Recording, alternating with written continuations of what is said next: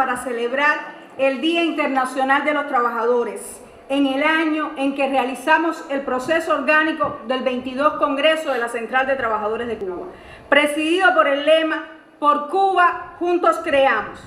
Festejaremos este primero de mayo, inmersos en los esfuerzos por la recuperación económica del país, que hoy constituye la tarea fundamental en la que como parte de la amplia participación de nuestro pueblo, cada colectivo laboral discutió y se continúa con la implementación de las proyecciones de gobierno para corregir distorsiones y reimpulsar la economía durante el año 2024. La revolución asume este complejo, inaplazable y decisivo reto, como lo ha hecho siempre, con la convicción de que el apoyo consciente, el aporte de cada compatriota y muy especialmente de los trabajadores resulta decisivo para materializarlo y avanzar en los programas de desarrollo estratégico que nos hemos planteado, en la satisfacción de las necesidades del pueblo y en el mejoramiento de las condiciones laborales y salariales.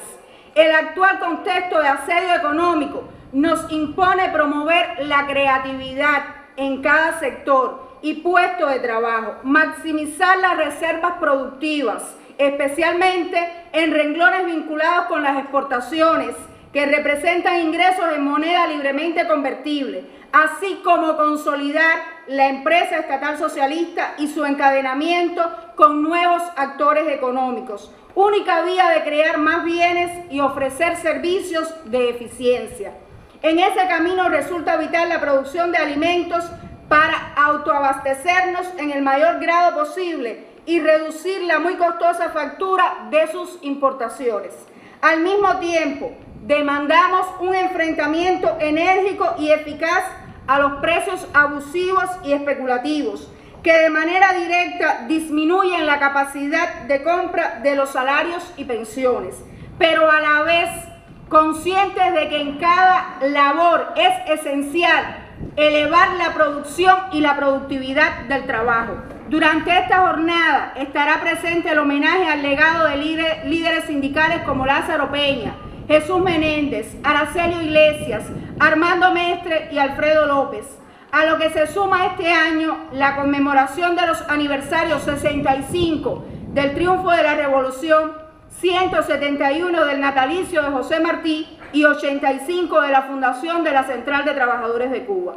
El Día Internacional de los Trabajadores coincide en esta ocasión con el mayor crimen que se comete contra una nación, el genocidio al pueblo de Palestina por parte del gobierno sionista de Israel, con la complicidad de Estados Unidos. Los trabajadores han alzado su enérgica condena a los bombardeos indiscriminados que han cegado la vida de decenas de miles de palestinos, en su mayoría mujeres y niños, y exigido se asegure su acceso a la ayuda humanitaria.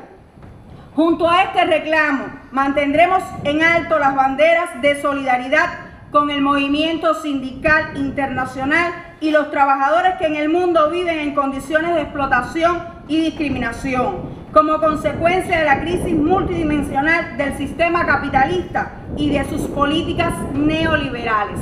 Nos acompañan en las actividades por el Día Internacional de los Trabajadores y en particular en el Encuentro Internacional de solidaridad con Cuba, brigadas de otros países. Compatriotas, convocamos a organizar combativos y coloridas concentraciones en plazas, poblados y centros de trabajo, que sean reflejos de nuestra unidad, la mayor fortaleza de la revolución. Será ocasión para exigir una vez más la eliminación del criminal bloqueo económico, comercial y financiero impuesto a nuestra patria por el gobierno de los Estados Unidos y la absurda inclusión de Cuba en la espuria lista que, esta, que éste elabora de manera unilateral y prepotente de supuestos países patrocinadores del terrorismo.